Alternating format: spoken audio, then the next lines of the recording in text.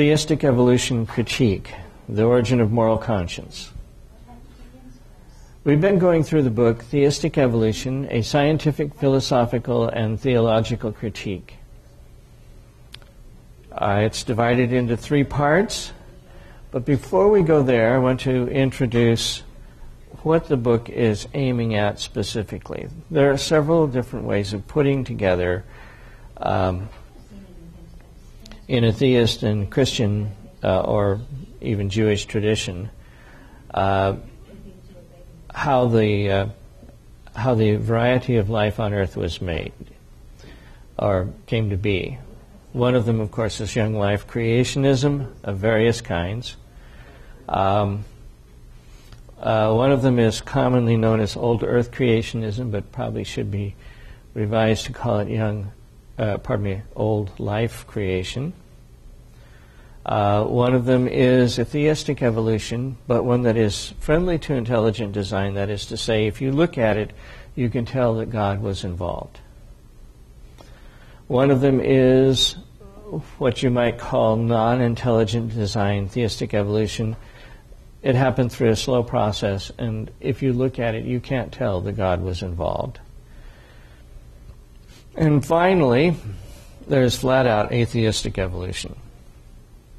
Now, the book is obviously not approving of atheistic evolution, but that's not what it's written for. It's written for people who are trying to choose between non ID theistic evolution and the others and is specifically saying that non ID theistic evolution really isn't a good scientific, philosophical, or uh, religious option. This particular uh, chapter is by a uh, Finnish fellow by the name of Tapio Puolimatka. Boy, I, obviously I don't speak Finnish. Uh, and it is in section two, which is the philosophical critique of theistic evolution. We've been through the scientific one. Uh, one more chapter, and we'll be into the theological one. Um, but um, this one is called The Origin of Moral Conscience Theistic Evolution versus Intelligent Design. And again, there is a theistic evolution that is intelligent design friendly, and that is not supposed to be being critiqued here, although there are some hints that maybe it might not be the best. Um, in summary, theistic evolutionists generally agree that Darwinian evolution is not able to establish the origin of actual moral obligations. All that the evolutionary story can possibly do is explain how we acquired moral beliefs and emotions. And of course, atheistic evolutionists say, well, there are no such things, and you're just figuring out how you got your illusions. The problem for theistic evolutionists is, however, that current evolutionary accounts fail even in the latter task. They can't account how we got our sense of morality. They fail to explain the origin of moral conscience. The human capacity to discern moral truths cannot be reduced to a product of the kind of combinatorial uh, processes, excuse me, that are available to a Darwinian account of evolution. Although theistic evolutionists assume that the idea of moral conscience as an expression of God's design for humans is fully compatible with various naturalistic explanations of the origin of moral conscience, they failed to specify a natural process that could plausibly do the job. In this respect, theistic evolutionism amounts to little more than a statement that they do not see a logical problem in assuming that God could have used a natural process.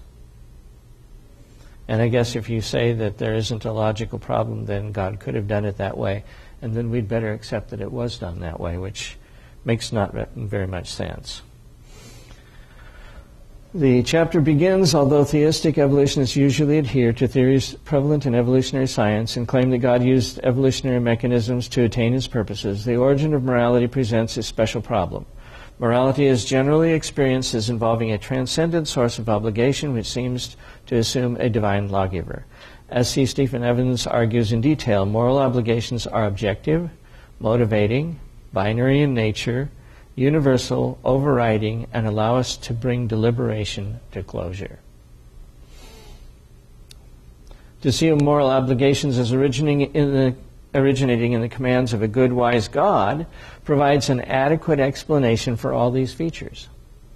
It provides an ontological foundation for moral obligations, and it fits well with the idea that God has endowed humans with conscience and ability to grasp moral truths. Thus, it allows for the view that even atheists are generally conscious of the obligating force of moral rules and, in that sense, have knowledge of God. They are aware of God's claim on their lives, even if they are not aware of that claim as God's claim on their lives. In that sense, as Kierkegaard points out, there has never been an atheist, even though there certainly have been many who have been unwilling to let what they know, that the God exists, get control over their minds. This experience is confirmed from the atheistic side by Jesse Bering. As a way of thinking, God is an inherent part of our natural cognitive systems, and ridding ourselves of Him, really thoroughly, permanently removing Him from our heads, would require a neurosurgeon, not a science teacher, and maybe not even a neurosurgeon. Theistic evolutionists generally agree that evolutionary theory cannot explain or account for actual moral obligations the moral source available within the context of Darwinian evolution are not able to establish the origin of overriding moral obligations and provide the foundation for universal benevolence and human rights. So theistic evolutionists would reject what Angus Menuge, um, is that Menuge? I'm not sure how he pronounces his name, calls strong evolutionary ethics, which are which argues that what counts as a moral value itself depends on biological history. As theists, they would reject this ontological thesis and instead adhere to a weaker thesis, or what could be called uh, weak EE, about moral psychology, which states that moral sensibilities have developed through an evolutionary process. In this view, all that the evolutionary story can possibly do is explain how we acquired moral beliefs and emotions. So theistic evolutionists reject the idea that uh, moral obligations themselves are evolutionarily determined. That's something given from God. But maybe how we know it could become could come from evolution. Theistic evolutionists thus believe that current evolutionary accounts can explain uh, the emergence of the human capacity to uh, discern moral values. My aim in this chapter is to argue, on the contrary, that current evolutionary accounts fail to explain the origin of moral conscience. The human capacity to discern the morally right and good cannot be reduced to a product of the kind of combinatorial processes that are available to a Darwinian account of evolution. Although theistic evolutionists assume that the idea of moral conscience as an expression of God's design plans for humans is fully compatible with various naturalistic causal stories, various, about how humans might have acquired such a faculty, they failed to specify a natural process that could plausibly do the job. In this respect, theistic evolutionism amounts to little more than the statement of, in a very ex- abstract and metaphorical plane, that they do not see a logical problem in assuming that God could have used a natural process. Naturalistic attempts at explaining the origin of moral sensibilities. Now, this next part is not talking about theistic evolutionists directly, but remember, theistic evolutionists are borrowing all this stuff, so it's an important background material. Various naturalistic evolutionary theories acknowledge that human beings are gen- generally experience moral obligations as commands by a godlike being. Thus, attempts have been made to account for these features within a naturalistic context. For example, the supernatural punishment theory of Dominic Johnson and Oliver Kruger suggests that belief in supernatural punishment has brought evolutionary advantage as it serves to pr- promote cooperation. Individuals are dissuaded from free riding because they fear supernatural retribution as a consequence of their actions. Combined with the assumption that human cognition is an evolutionary novel canvas for the working of natural selection, it leads to a naturalistic theory that the expectation and fear of supernatural punishment serves to promote cooperation. If supernatural punishment is held as a belief, then this threat becomes a deterrent in reality, so the mechanism can work regardless of whether the threat is genuine or not. And of course, under their breath, these people are saying it's not really genuine. These naturalists assume that some of the cognitive faculties conduct, conducive to survival produce a tendency to believe in a God in, to whom people feel morally accountable. However, the process of natural selection does not select belief on the basis of their truth, but on the basis of their value for survival.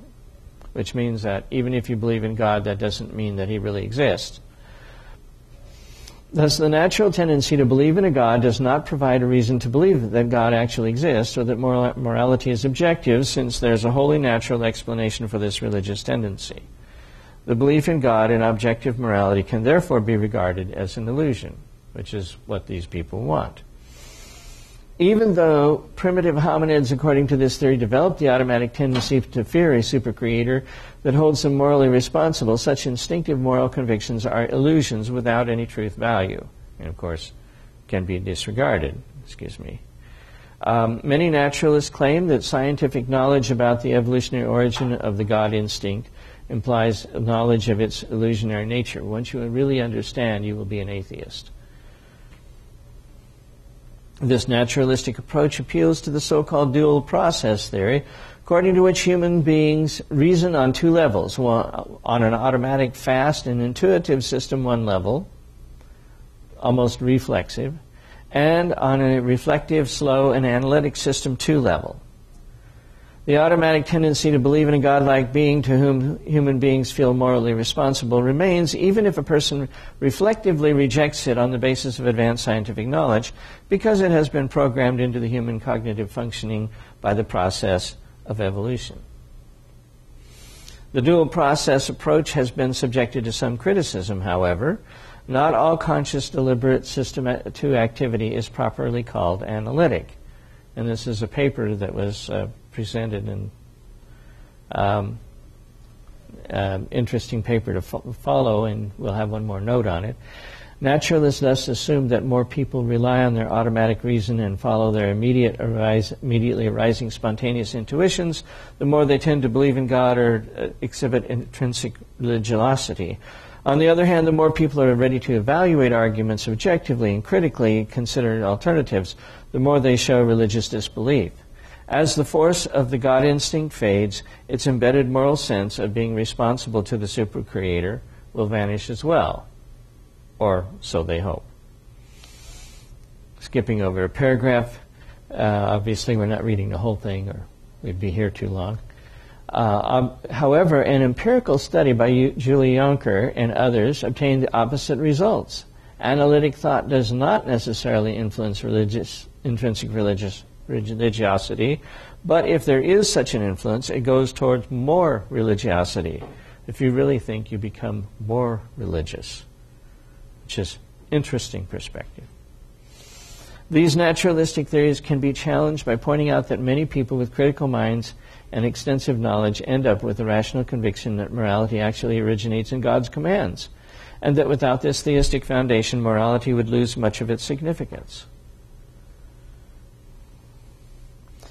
The, uh, two, the approach of theistic evolution. We've surveyed how atheists look at it. Now, theistic evolution wants to keep that morality.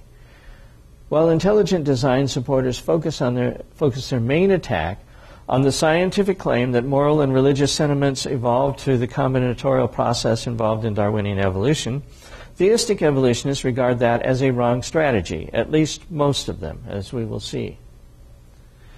Um, a major strategy of the theistic evolutionism is to attack the uncritical ways in which uh, theory, naturalistic theories often mix philosophical assumptions with scientific results. The, uh, quoting, the scientific fields of sociobiology and evolutionary psychology are young because these fields present presently have theories running well in advance of empirical data. This, that is, the attack on scientific claim that human moral and religious sentiments evolved, might seem an attractive strategy, but don't go there. Nevertheless, I believe it is the wrong strategy. The problem does not lie in the scientific claim. The problem lies in the philosophical claim that if our moral and religious sentiments evolved, then moral and religious beliefs cannot have objective status or truth content. Uh, in other words, even if they were right, they were still wrong. And uh, maybe both are true.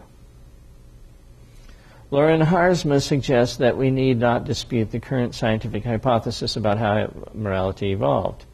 We need only dispute the naturalistic philosophical extrapolation as to why morality exists. One such naturalistic fallacy is the fallacy of nothing buttery. And by the way, that's uh, stolen straight from uh, C.S. Lewis. Um, this is the claim that a complete evolutionary description of the existence of morality does invalidate the truth, utility, or significance of uh, other levels of description of morality. Words, if you can prove it, it came about scientifically, then it has no value. So, a major difference between intelligent design theory and theistic evolutionism is a difference in strategy. Theistic evolutionists like Har- Haarsma admit that the current naturalistic theories are vulnerable to attack as scientific theories, but they assume that, given time, a well founded naturalistic theory will emerge to explain the way moral and religious sentiments have evolved. We will wind up fighting uh, wrong battles and be coming outflanked in the war. Therefore, they think it wiser to focus on the philosophical weakness of naturalistic theories and their inadequate separation of philosophical assumptions and scientific results. The intelligent design strategy is, of course, more risky in the sense that once you attack a specific th- scientific theory, you risk being proved wrong. But many intelligent design supporters see such grave problems in current evolutionary theories that they feel justified in criticizing them instead of merely trying to reconcile the Christian faith with the evolutionary story. To some extent, theistic evolutionists, and some more than others, do this as well various interpretations of theistic evolution. First, there, there at least two major approaches that a theistic evolution may take with regard to the origin of moral conscience. And one, she may argue that the evolutionary account is valid insofar as it deals with topics that belong to the field of natural science. The standard evolutionary account can explain the development of human beings as biological beings. But we may need to rely on other sources of information to gain insight about the origin of spiritual and moral aspects of the human nature. For example, God may create human beings by con- conferring an immaterial soul on what was formerly a wholly material primate. In such a view, God creates human life within the process of common biological ancestry, although humans are considered, constituted by more than biology. That is, something happened with morality, not just that there is, but also that we have it. A theistic evolutionist may think, this is the second option, that the scientific account of the origin of moral conscience explains the development of the affective and cognitive capacities to make moral judgments and recognize the difference between good and evil, right and wrong. This happened by an evolutionary mechanism. Once evolutionary mechanisms had developed the human capacity to discern the difference between good and evil, right and wrong, although why that was advantageous for survival is not clear, um, human beings may then use these capacities to recognize the moral law, which has a transcendent origin. The moral law is transcendent. Our understanding of it is uh, conditioned.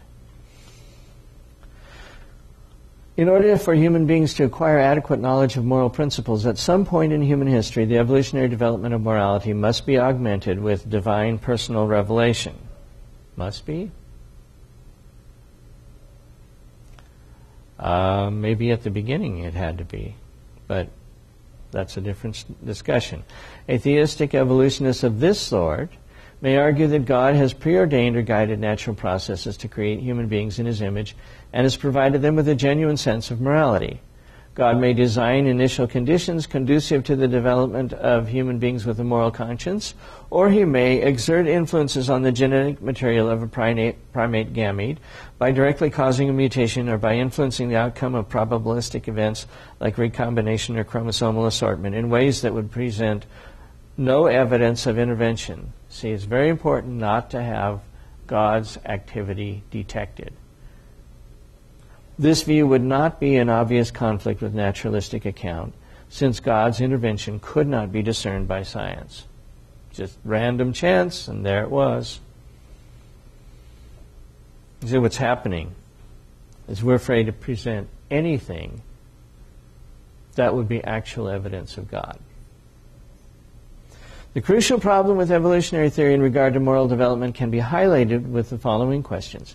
One, if human moral sensibilities have gradually developed from animal forms of cooperation based on individual or group advantage, how can we account for the qualitative jump from mere instinctual drives and prudential considerations to general, uh, genuine moral considerations that trump self interest and make human beings aware of their obligations to follow the commands of an absolutely love, a good and loving God. And number two, can we claim a qualitative difference between human beings and animals and establish a foundation for the human capacity to discern human dignity and fundamental human rights if we suppose that human beings have gradually developed from their animal ancestors through Darwinian mechanisms? Those are the two questions he's posing. Okay. B, human morality as a result of God's special intervention. So this is one case. God did something, and you can tell. The first approach common among theistic evolutionists is represented by Francis Collins. And I would agree from, from my reading of Francis Collins that, that, that he's being accurate here. Who re- rejects the evolutionary account of the origin of moral conscience in fact, it's more than that. This is what convinced Collins that there was a God, was morality. Collins thinks that the validity of the evolutionary account is limited to the biological nature of human beings. He regards morality as part of man's spiritual nature that has been directly created by God. Collins argues six premises. We're going to only read the last three. Once evolution got underway, no special supernatural invention was required. Humans are part of this process, sharing a common ancestor with the great apes, however, six, but humans are also unique in ways that defy evolutionary explanation and point to our spiritual nature. This includes the existence of the moral law, the knowledge of right and wrong, and the search for God that characterizes all human cultures throughout history. So those are the uh, three of the six uh, premises uh, Collins argues for. Collins does not feel any tension between his premises four and six. Collins probably thinks that, as far as the biological evolution of human beings is concerned, no special supernatural intervention was required once God had created the initial conditions and the mechanisms of, of evolution. You just wait, it unfolds. But he seems to assume such an intervention with regard to the origin of the spiritual nature of human beings. I think that Collins is right in his assumption that human moral conscience cannot be explained by referring to animal affections and their forms of co- cooperation. Animal forms of cooperation consist of instinctual drives and automatic cognitive tendencies to feel and react in certain ways, and these fall within the scope of a causal account. A failure to act according to instinctive solidarity felt towards one members of one's own herd is not a moral failure, but only a malfunction of the biological psychological instinct. The malfunction of an instinct hardly makes one morally guilty. And he's right about that. Or you can look at it the, this way moral conscience as an evolutionary product. Collins' approach can be seen as a deviation from the more general theistic ev- evolutionary approach.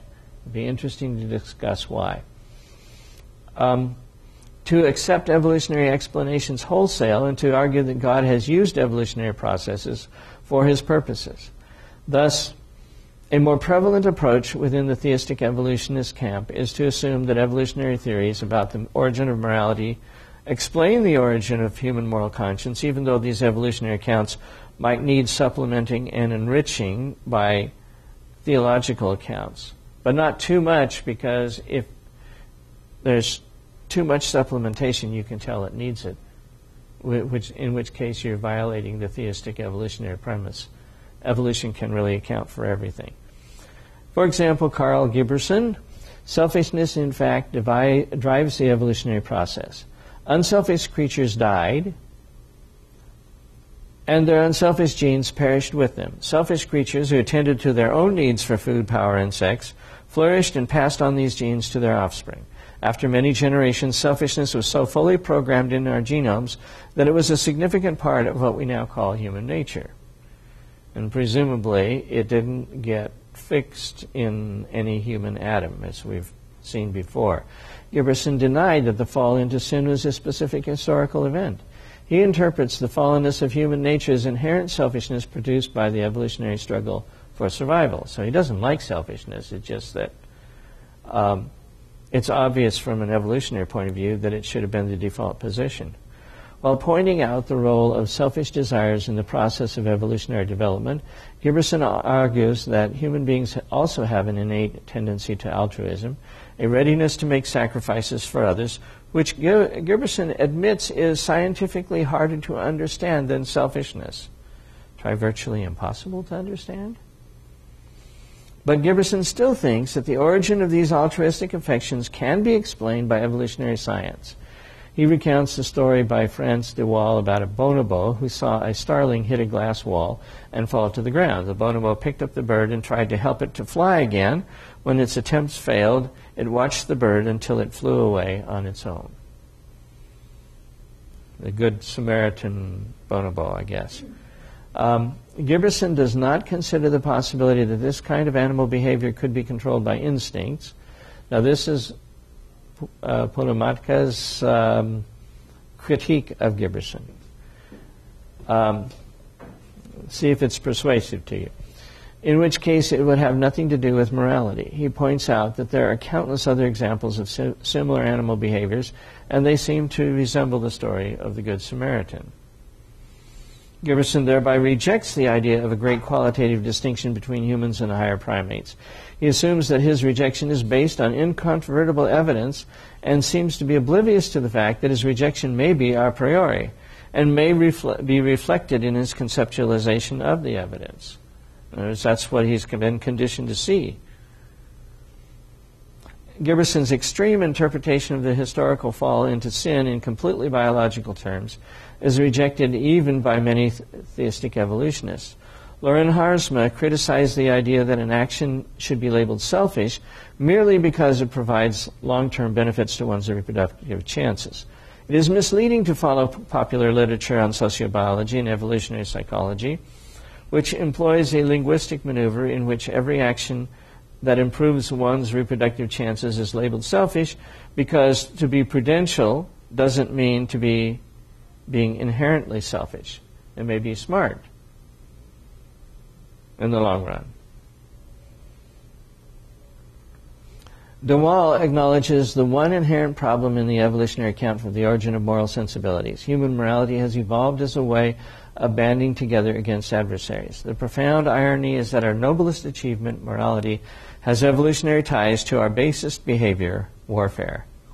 He writes, the sense of community required by the former was provided by the latter. If we didn't have war, we wouldn't have morality. Waal recognizes that the basic idea of morality is contrary to the logic of evolutionary struggle for survival.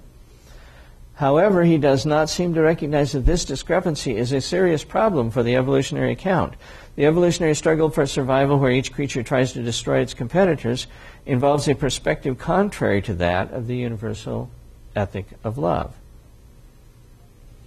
De Waal admits that the endeavor to derive human moral sensibilities from their supposed animal precursors leads to an understanding of morality as an instinctive tendency rather than as something controlled by rational deliberation and conscious choice.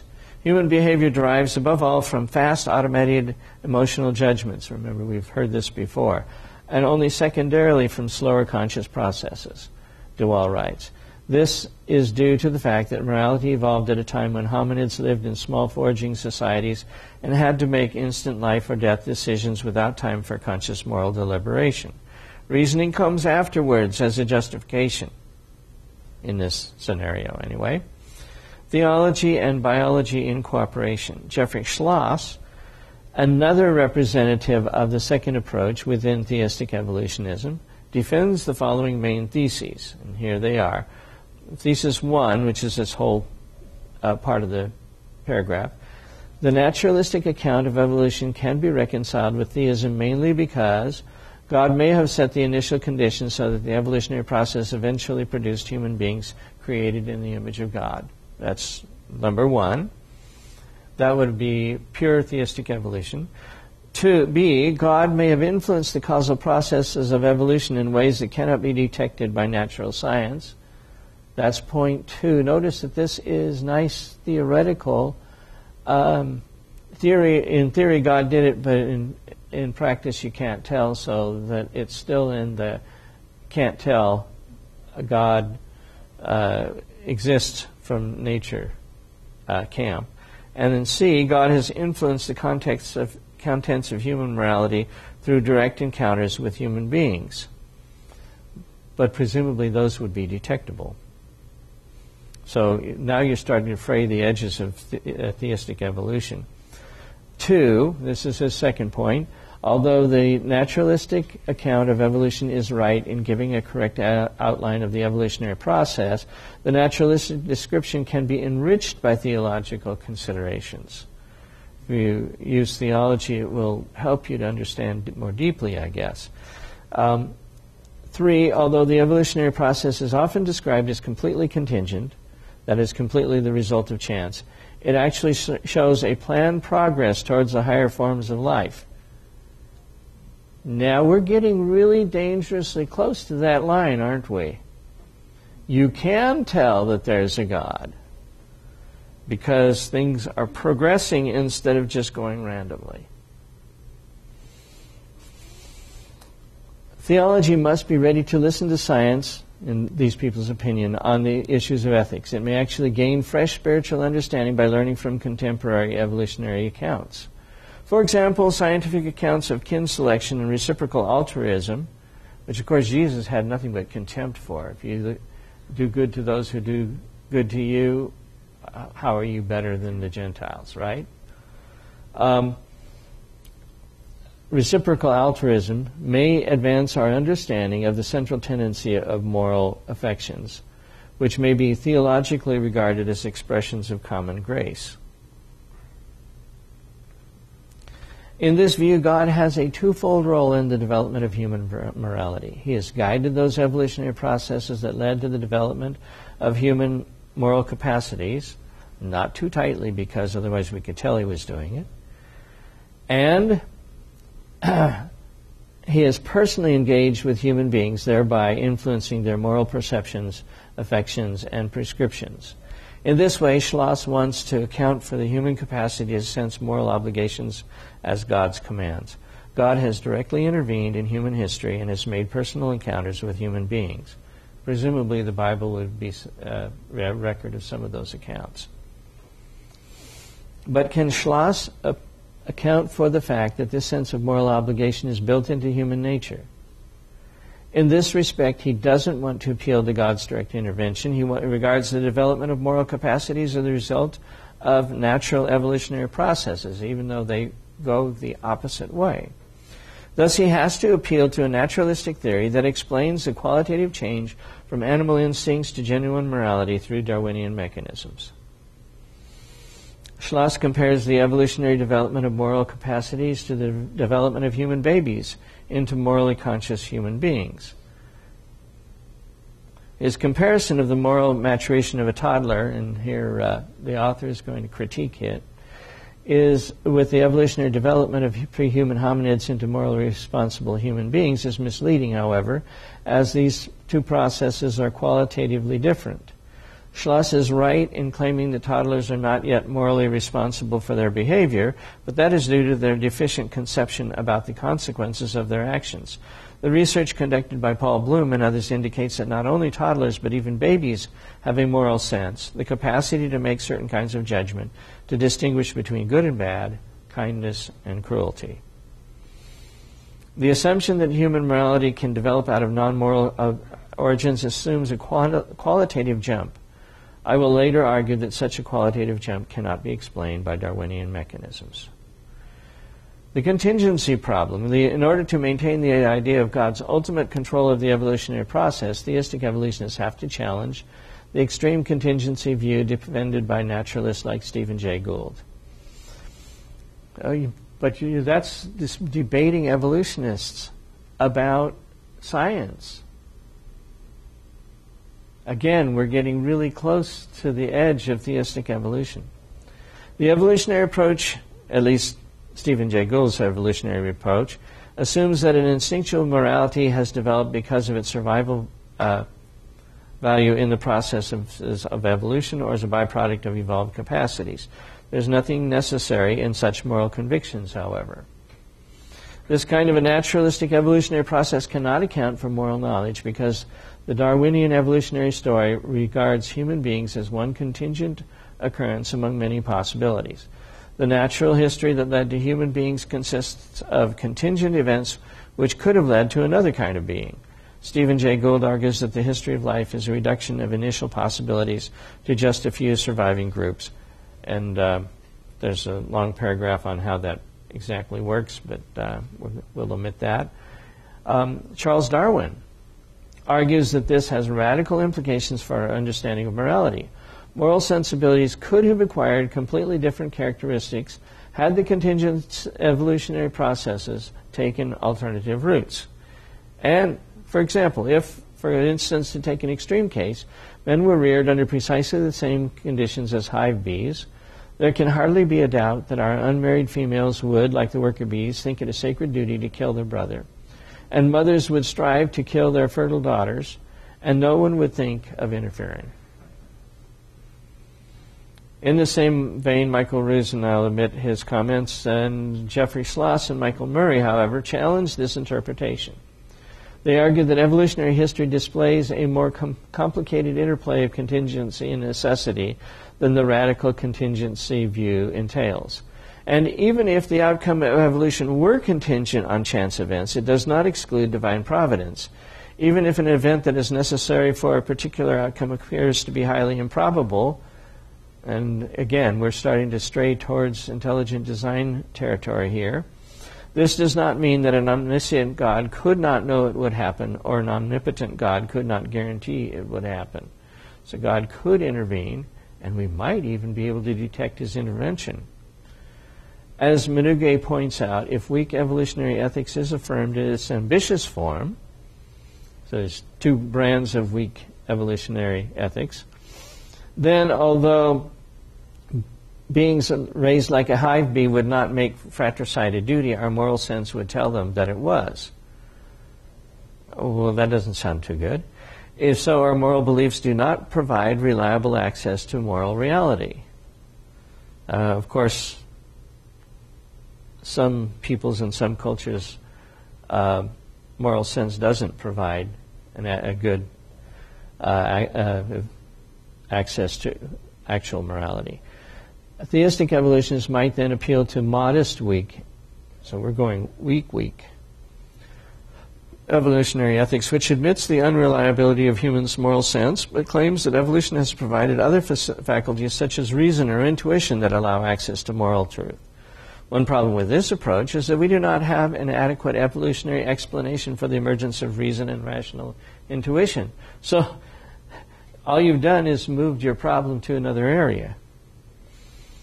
Skipping over a little bit, so the basic dilemma of evolutionary ethics is that if the belief system is true, moral truths are unknowable. Theistic evolutionists try to escape these epistemological problems by appealing to God's guidance. But then, now you're back to, well, you really can tell. So, perhaps um, uh, Collins was right to begin with. The problem, however, is that Schloss and Murray can hold on to this idea only on the metaphorical level because the Darwinian combinatorial processes do not allow a qualitative change from instinctive morality to the cognitive capacity to discern moral truths. So they either have to presuppose, presuppose God's miraculous intervention or assume that we still function at the instinctual level in our moral behavior. We are not actually free to make moral choices or to recognize moral truths. So the final thing is, you're going to have to go with Collins whether you like it or not. Uh, three, the moral gap. Theistic evolutionists usually assume that the human capacity to discern moral obligations developed from instinctual forms of cooperation among animals. The difficulty then is to find a mechanism to explain how these instinctual drives have developed into genuine moral cognitive co- cap- cognitions capable of discerning the requirements of universal benevolence, transcendent justice, overriding moral obligation, and absolute human dignity. Skipping a couple of paragraphs, Moreland, this is J.P. Moreland, whom we've met before, argues in detail that there is no naturalistic combinatorial explanation of the appearance of simple properties of consciousness. And skipping over a few paragraphs, not only are naturalistic explanations unable to account for the emergence of moral conscience, but as J.P. Moreland has shown, naturalism isn't able to account for human consciousness, free will, universal rationality, or substantial soul either. Without these human capacities, morality would lose its significance. Conclusion Theistic evolutionists have the commendable goal of helping theistic students keep their faith under secular educational systems that indoctrinate them with the naturalistic worldview. The problem with their accommodating approach is that they eventually end up modifying the contents of the theistic faith and the nature of morality to fit the evolutionary account. They hide the problem in the evolutionary account by vague metaphors and create the impression that Darwinian mechanisms are able to produce qualitative new forms of consciousness. The vague idea that God has used evolutionary processes to attain his goals may ease the tension that believers feel between their faith and the current consensus in evolutionary science. Uh, eventually, however, the problems inherent in such vague metaphors could undermine our trust in the human capacity for moral knowledge. While theistic students may be helped in the short term because they are relieved of the pressure either to reject their theistic faith or be labeled bigoted representatives of an anti science and anti knowledge superstition, the foundations of their faith may be undermined in the long term because of the widespread accommodation of the Christian faith in the nature of morality into presuppositions of the naturalistic worldview. The weak point in the reasoning of theistic evolutionists is their inadequate analysis of the qualitative difference between non moral forms of cooperation and genuine moral considerations. What is lacking is an adequate philosophical analysis of the unique nature of moral conscience and its difference from mere prudential or other non moral considerations. Now, my take on all this, I think uh, Puolimatka makes an interesting case for rejecting that branch of theistic evolution that does not allow for detectable divine intervention at the point of the acquisition of morality by the human race. Now, I'm frankly reluctant to settle questions by purely philosophical means, partly because of the failure of Greek philosophy, which is probably the most one of the most powerful forms. Um, I do agree with him that evolution that is defined as natural selection acting on random mutations, cannot account for either moral conscience or moral behavior. The position of Francis Collins that divine intervention was required and that we can tell is, in my opinion, much more defensible. It is, incidentally, the same position that C.S. Lewis takes and the position that ID friendly theistic evolutionists in general take. Uh, it is in broad agreement with creationist position, uh, positions on this point. Both old age and young age believe that God actually imbued humans with a sense of right and wrong that was given to them miraculously. It is not in agreement with the principle of theistic evolution. Not all theistic evolutionists are equal. Collins has historically moved towards Christianity from atheism. Many of the other ones have moved away from Christianity in a certain sense. They would hate me saying that um, because they think they're still Christians. Um, in fact, Collins is a partial ID adherent. He accepts, and I heard him on the radio just saying flat out, that there's evidence for divine intervention at the start of the universe. Universe is, looks designed. That's because it had a designer. Um, and he obviously accepts divine intervention at the appearance of moral conscience. I think we should welcome this. This is movement away from the dominant paradigm of our times. The principle of theistic evolution is that one must never take scientific claims, one must never make scientific claims, as someday we may discover that they were wrong. So for a theistic evolutionist, you never contradict the science of your day. I think the consistent application of this principle would necessitate belief in all detectable divine activity. And that includes the resurrection. And that kind of puts you outside of Christianity.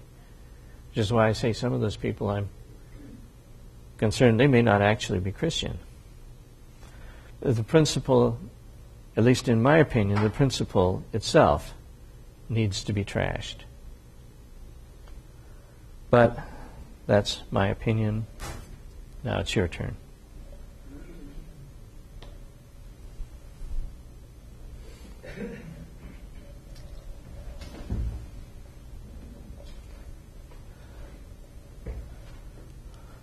Go ahead.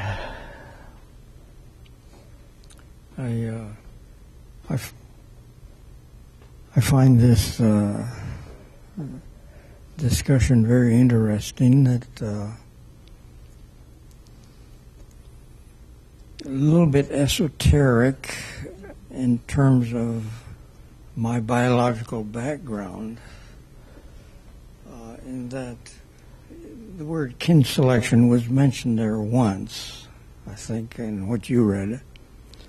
Uh, this has been such an extended, uh, contentious debate that I, I, wonder why it was uh, not included in the uh, chapter, although you can't cover everything. Uh, but uh, this evolutionary psychology is, keeps moving in that direction. Uh, even though we might point out the architect of, uh, well, he's, he's not the architect, probably the lead promoter of kin selection was Wilson at Harvard, who for 30 years in his books, uh, sociobiology and so on, promoted the fact that uh, the reason that uh, you had altruism is that you uh, provide selection by uh, at least providing for your kin to survive. You know, and the story begins with uh, bees uh, why do bees uh, actually commit suicide to protect their, the, beehive? Well, uh, that, that, was fairly easy, uh, fairly easily answered from an evolutionary standpoint, in that the beehive is an organism as a whole, and so it provides for the survival of fittest. But, but that was uh, countered quite readily by more advanced organisms. Why is a uh, mother bird, for instance, will, will act as though she's lame and so on in the presence of a predator to keep that predator from uh, attacking her offspring. Uh, and uh, that's a little harder to answer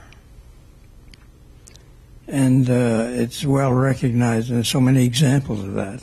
It's well recognized that altruism does occur in animals. And uh, Wilson came forth with kin selection. That, well, uh, you can sacrifice yourself. You're still preserving your genes, at least the genes of your kin, because they have the same genes you have Therefore, evolution proceeds. In spite of the fact that you have altruism on the part of, of uh, an individual, still you're protecting, and, and, this has been the, the prevailing dogma in uh, uh, sociobiology uh, for for uh, altruism uh, for years and years, and it, it's still there. people don't want to give it up, even though E.O. Wilson, who had promoted this for some 30 years, comes out at the end and he says, kin selection doesn't work.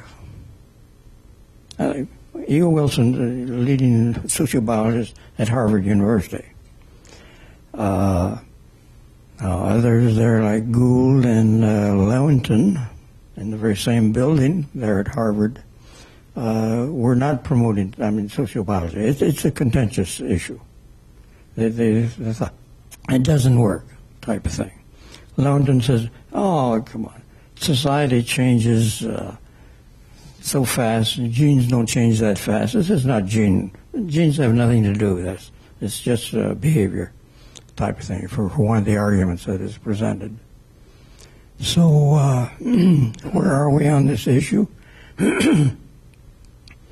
Here we have the leader who's denied, promoted denying it, uh, but we have the sociological community and the scientific community and uh, evolutionary psychology still stained by the idea of kin selection, which uh, never did have, uh, it had uh, marginal scientific defense, although uh, Wilson, a friend uh, of his, his wrote a book trying to defend this. The book was quickly destroyed.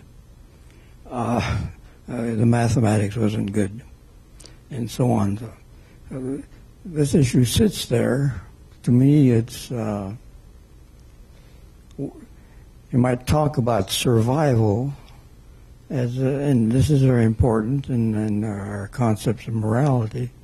We have concepts of morality uh, that don't have all that much to do with survival. I think it's hard probably to find a human being who thinks it's okay to steal we all know, hey, this belongs to somebody else. I shouldn't take it, type of thing. Uh, why is that there? So on. It is something beyond what atoms and matter and energy can put together and so on, and the, the mechanistic thing. There's no question something beyond. Of course, this chapter uh, defends it very well. Uh, our consciousness and all these things, um, our honesty, uh, or I think uh, most uh, human beings, you know, if somebody is hurting in a car accident, the car's on fire, you're going to try and help that person. I mean, this is it's there, even though uh, evolutionary wise. Uh, forgetting about kin selection. You would not want to do that because, hey, uh, the longer you live, the more your genes are going to survive. Uh, kin select, uh, I shouldn't say kin selection, survival of your genes, which is uh, supposed to be the goal of evolution, uh, survive. So we got that aspect, I think. Uh, I thought the chapter was good, but it uh, there's a whole area out there and a battle going on there that uh, mm-hmm. could have been included. Yeah. Well, my my response to that is that um, he hasn't cited any of the evidence out there. Um, this being in the philosophical uh, section, I'm not terribly surprised um, because he's not going to be arguing about what the what the studies show.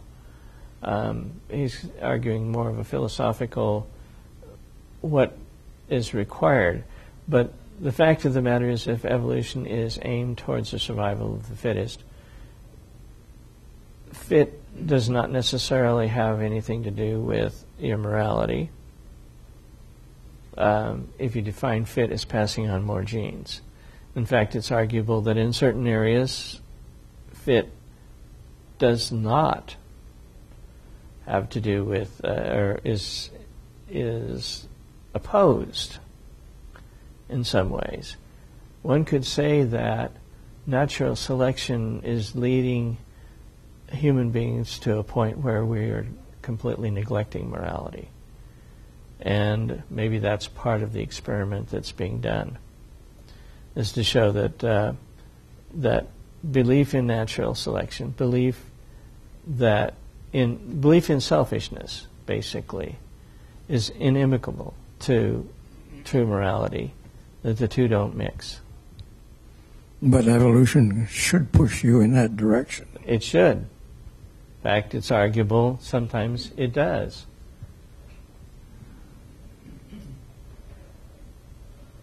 It seems to me that um, that's really right there the original lie that uh, the devil basically, in saying, I don't need, I'm as good as Jesus, I don't need to have that morality from God, I can do that myself. It seems like we're being sold right here that original problem.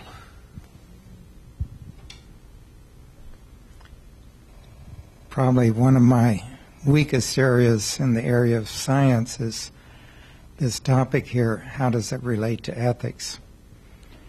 Uh, fascinating area, but you have to really be well versed both in science and ethics and evolutionary biology and all that. But um, just from my own limited viewpoint, I see a similar problem between morality and sexuality. Uh, the problem with the evolutionists is to explain sexuality. How do you get male and female? If you start with one single um, atom, or, or more than that, one single bit of protoplasm, how is that going to divide up and you're going to get some male and some female? So there's a duality there. Same way with morality. How do you uh, get to the point where you can make a choice or differentiate between that which is good and that which is not good. So all of morality is based on a binary system. If it's not binary, if it's if it's unitary, then there's no morality as we know it. There may be a type of morality, and maybe you can argue on that. Sexuality also is binary uh, at some point you have male and female unless you have asexual regeneration for eons of time, and I don't think we find a lot of evidence for that. Now, what I'm leading to is that whether it's sexuality or morality, you've got to have the element of choice there. Choice involves two options if there is no choice, then it's all programmed and then you don't have morality. Uh, choice then involves rationality. And I'm glad uh, the, the author mentioned in this chapter that rationality is a big problem. And how do you explain morality without rationality? One has to come before the other. But how can you have rationality without morality. Because rationality, if it's not able to choose that which is good and survival of the fittest, even to end up with the best results, then rationality is going to die out and it's going to be excluded from uh, evolutionary processes. It's going to be weeded out through natural selection. So, to me, this is kind of a new evidence I'm just brainstorming here. I may be wrong. A new evidence that uh, there's divine action in the process is as soon as you have rationality, the ability to choose this versus that, you've got to have morality. I don't know. Think about that. I may be wrong. it's almost like it's irreducibly complex. Exactly. That's where I'm going.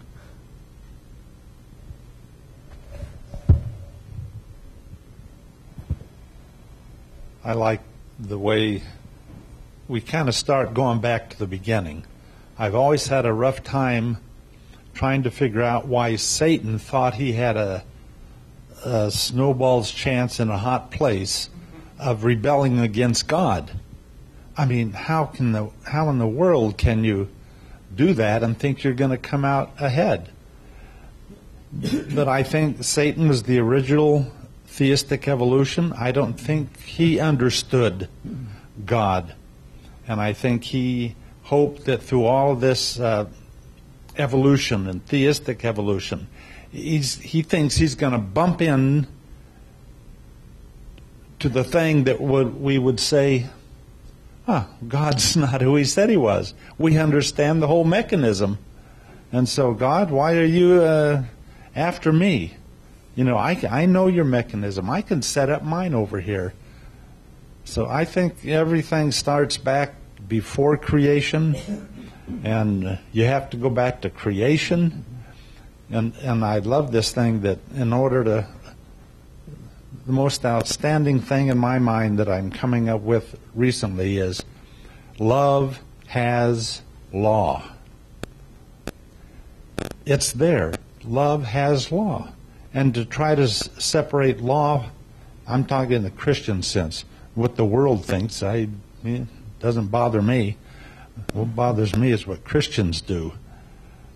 So love has law. If we choose to ignore those laws of love, then the whole sexual revolution thing goes from a binary down to a one thing, and that one thing is your own personal preference. And you can, like Satan, you can call anything you want because you're following your heart. You're following the evolution process. Everything is going from two, and it's going to end up at one. Any rate, I, I, I like this whole whole thing, and uh, putting like you say, I brainstorm. I'm I'm trying to figure out where it's all headed. But I think I know. Uh, You, you just said what I wanted to lead to also. Um, in the beginning, Genesis 1 1, it doesn't end until chapter 3 in the story of the fall. And in between the fall and the good creation, you have the tree of knowledge of good and evil. You have a binary system set up, a system of morality. That's part of the beginning. And if you try and explain it through a rationalistic method, or naturalistic especially, uh, you're not going to get anywhere. So I, I really like the direction we can go with this. In the beginning, still is just as true as when it was first written.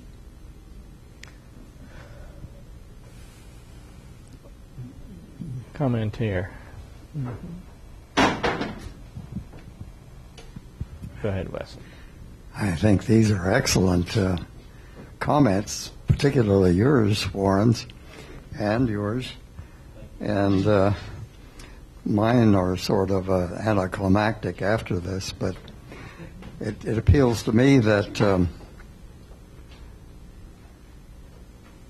creation and the presentation of good and evil is indeed a binary system. Same for sexuality. But evolution depends on anything but binary, infinitary, infinite events, and maybe one of them will work for advancing along evolutionary lines the creature. So, uh, and on the other hand, if evolution uh, involves infinite number of encounters and possibilities and events and outcomes, of which most will not be advantageous, but most, but uh, maybe one might be every billion years. Uh, the opposite is true in the current social uh, evolution for LGBTQXXX. It's you can be anything you want to be, which would go along with what you're saying, and I think I approve of that. But so much for deep, profound philosophy. We heard about six or seven years ago, we were invited to a special event pushing something at that point in time called the Institute of Altruism. at La Sierra. And uh, I kind of wondered about an altruistic institute at an Adventist institution at that point, and I wonder whether whatever happened to it. I presume that it's it's in line with La Sierra's basic philosophy of putting science first and religion second. And um, I might also comment that um, uh, this idea of having divine encounters at some point after after evolution got started is interesting and uh, elaborated on in a rather humorous way. I'm personally familiar with a, a friend of mine who is really a serious, devout believer in UFOs. And UFOs introduce, of course, aliens coming to this to this universe, and uh, one of the theories of what a, you know, aliens did, besides besides uh, kidnapping humans, is when they kidnap them, they introduce them to morality, and then send them back. And um, another variation on that that I've been amused at is they really high academic academicians uh, sometimes engage in witty seminars with the idea that uh, uh, there is indeed intelligence out there in the universe, but uh, it is so far advanced in ours, above ours, that they are amused by us. And uh, that human events have been controlled by alien children who adopt humanity as a science project and influence our reactions just like our teenagers are ex- expected to engage in science projects and uh, play with magnetism and so forth. I would sure uh, be a few comments make, on this, except uh, where did Alter- the Institute of Altruism at La Sierra go?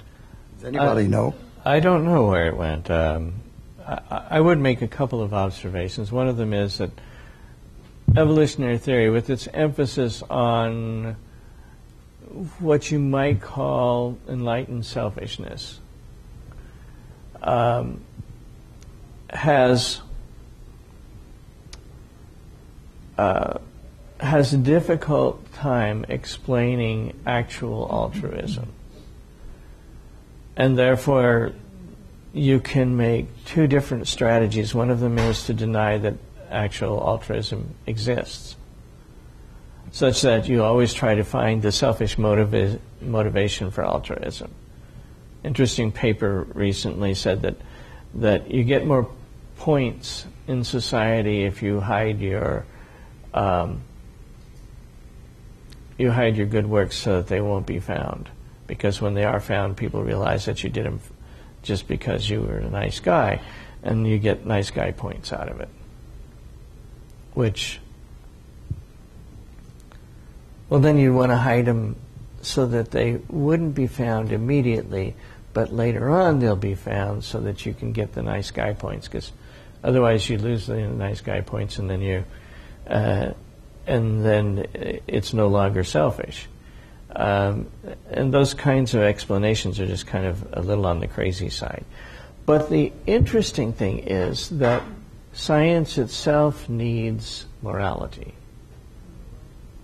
And what I mean by that is that if science degenerates to a point where, as long as you can publish stuff and get grants, that's all that really counts, that science will lose its authority. Because at that point, the motivation is not to find truth, it is to game the system the best way you can. In which case, why even listen to people like that? Because you know that they've got an angle. Once you figure out that somebody has an angle, you immediately discount what he says.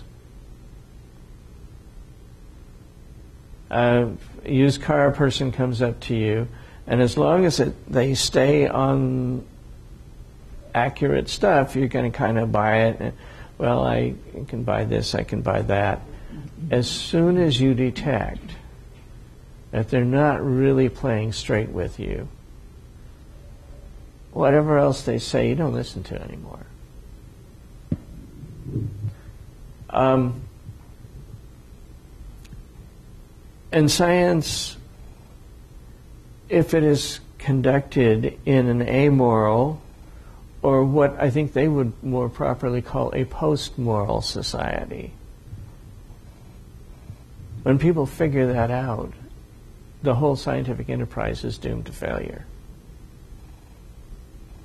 Because why would you want to listen to somebody give you their angle unless it agrees with yours in the first place, in which case you're just uh, you're just joining your own tribe doing rah rah stuff. It doesn't really get you where you need to go, and that's important.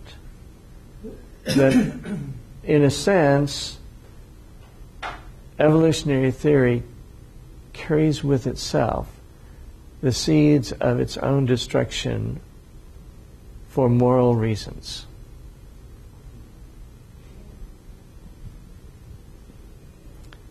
I, I, think that there are far too many people that really haven't noticed that and are carrying on their science as if they're going to have the same authority regardless of what happens because after all they are scientists and scientists have authority.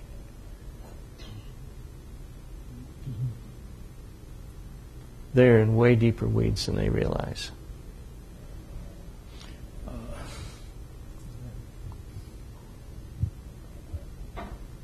Uh, could an evolutionist speculate that uh, that altruism might might uh, be a benefit at the species level, i.e., if, if there's a tendency to, to help one's uh, brother or sister in kind, uh, then that would be a benefit to the to the species and, and survival value? Well, they could, um, and some of them might possibly do so. But the interesting thing of it is that, if I can say this experimentally, it doesn't work. That is to say, when you get evolution uh, pushed hard enough, what happens is that speciesism becomes immoral too.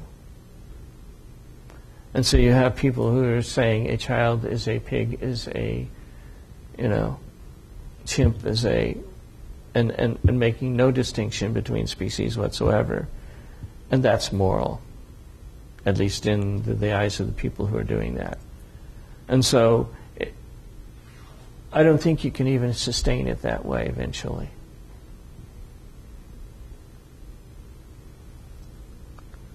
But you're right, that would be the next step. Well, we'd just generalize to the whole species level. Anything that keeps humans alive is good. Uh, it's inadequate, uh, practically speaking.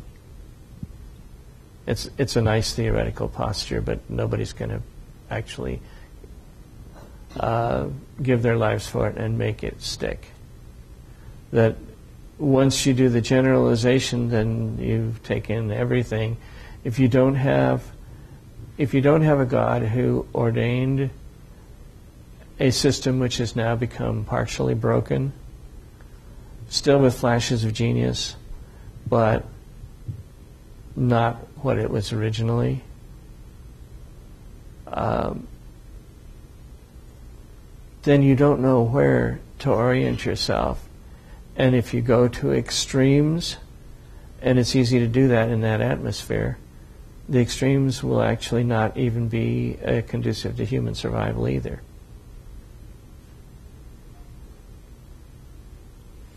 I don't think we can get along without uh, without a God-given morality and make it actually work.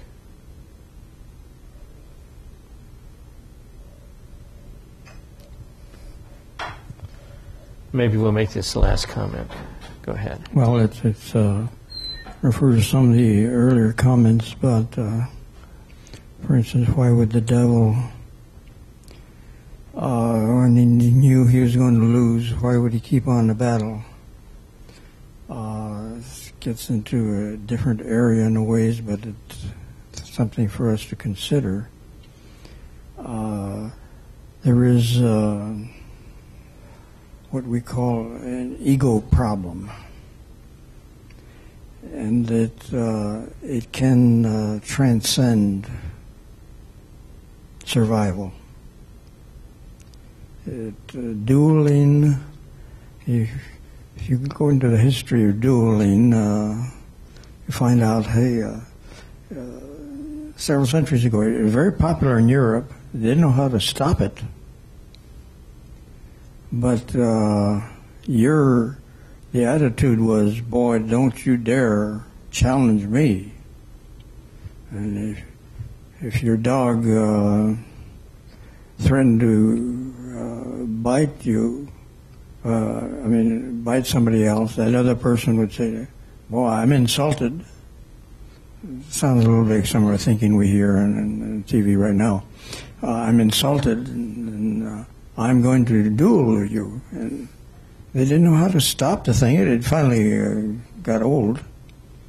Uh, but uh, people were carrying swords around in France and so on, and uh, they, they were proud of who they were, and uh, nobody was going to challenge them. And if you dared to challenge them, they had their swords ready. And uh, quite a few people lost their lives uh, in this process. Uh, it tells you that uh, sometimes our ego can get the best of us, regard, regardless of consequences. We just as soon die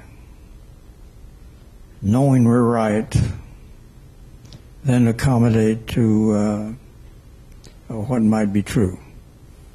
Uh, and uh, I think that tells us a little bit about the great controversy and what could be involved here between right and wrong and why uh,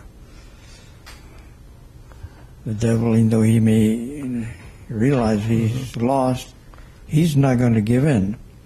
I will extend that to say I have seen this going on in the battle between creation and evolution, where data strong data was absolutely rejected. Simply, no, I'm not going to give in. And it's a danger we all face, folks, whether we're creationists or evolutionists. Once you get to a certain point, uh, you're not going to give up what you've defended. Uh, thousands of examples can be illustrated there in science where conclusions that were wrong. The person will not give up in spite of the, he's going to die, still defending that. And of course, a new generation comes up that doesn't support it, and and we've got another case. And then when we say, "Oh, isn't the science great?" It, it revises itself instead of realizing, "Hey, uh, there's a personal problem here uh, that we don't recognize." Uh, that is our, our ego. You want to make one comment? No, no. You Oh, okay.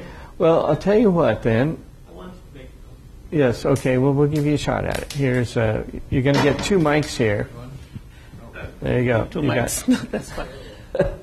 this is very interesting, and uh, Ken Hart is not there. So some of us go to his class after this, but he's not there today. So if you have some time, a um, couple of things. Number one, I've seen a little video clips of a lion protecting Uh-huh. a little little baby baboon.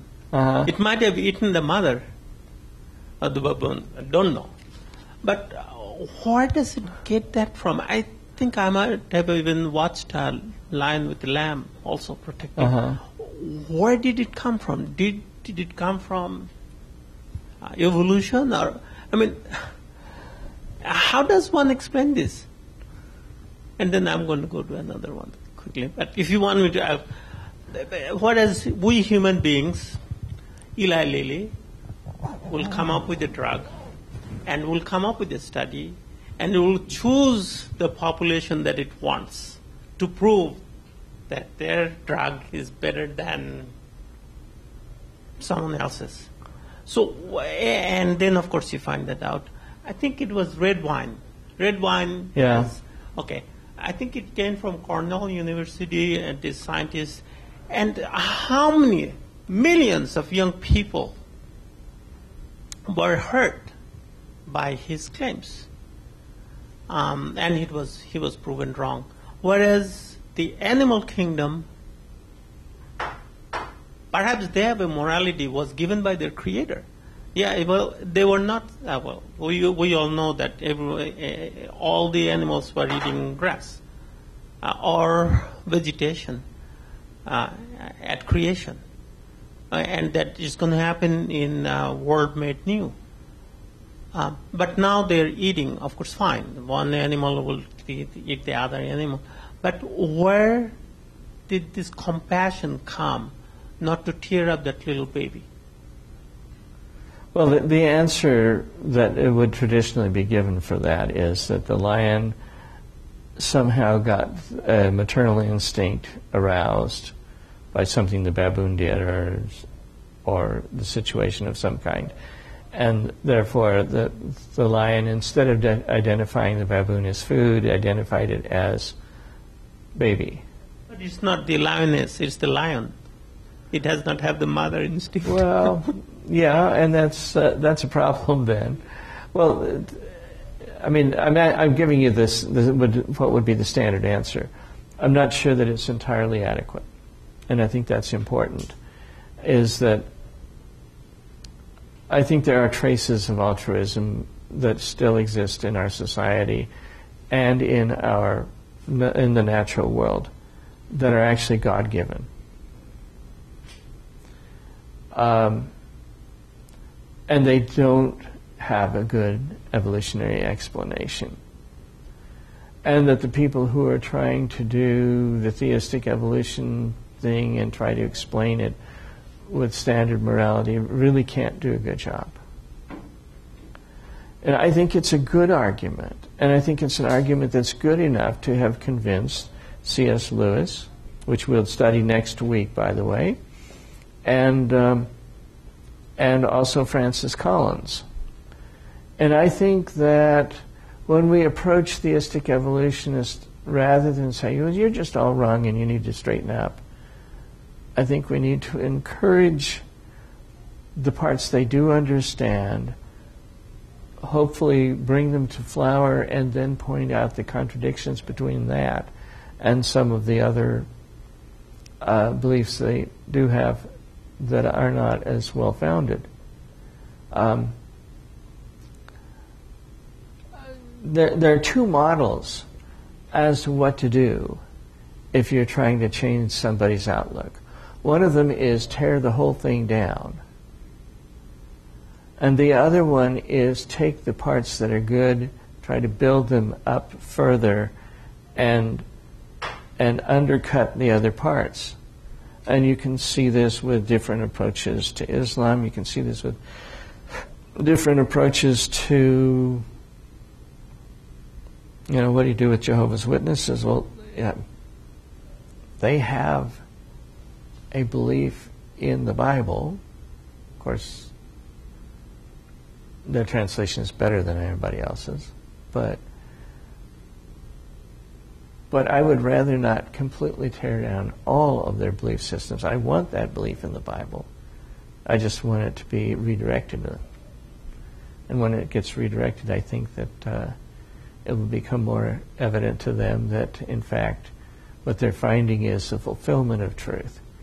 Uh, Jesus doesn't seem to have torn down everything that anybody had. He seems to have built it up in some ways. You know, people who were living by the law, rather than saying, you've got it all wrong, he said, you know what? The law is permanent. In fact, it's even stronger than you think. And he gave a whole sermon on that. You've heard it said of old, Thou shalt not kill.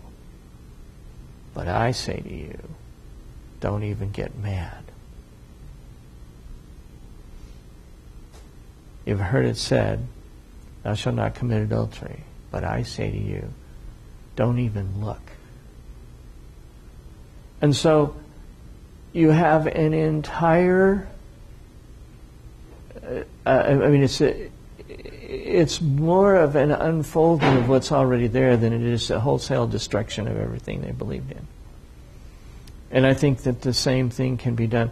I laud Francis Collins for coming out of an atheist home and becoming convinced of Christianity and becoming convinced on the basis of this very question, the moral law. And that's why he, he can't be put into the same category as many of his supposed colleagues. Because in a way, he's not really a colleague. I would rather be building on the parts that he does recognize mm-hmm. and point out that you don't believe the scientific establishment, or at least what used to be the scientific establishment, about the universe. You don't believe them about morality. Why are you so sure that they've got it right about the origin of life? And once the origin of life is cracked, why are you so sure that, that evolutionary theory can explain everything? And then once that's cracked, then go and say, and why are you so sure that it took as long as they say? So I think there needs to be a natural progression rather than trying to just wholesale destroy everything. He got part of it right, and we should say so. Interestingly, some of his supposed colleagues have got part of it wrong. Evolutionary theory can't explain it, and they're living in fear that, but someday it will because science progresses always. And we need to be saying, no, that's it. As a matter of fact, science doesn't always progress. Right now, science is degenerating. It depends on what you call science. But the current science cons- scientific consensus is degenerating. Yes? I just might add to that, uh, in this whole discussion we've had today, uh, basically, there's little altruism, I should say none, in the principle of survival of the fittest, which is the basic mechanism of evolution. And I find all these alternatives that they've proposed today are rather weak in the contrast of that basic principle of survival of the fittest. Anyway, come back next week and we will see whether theistic evolutionists have a right to claim C.S. Lewis as their hero.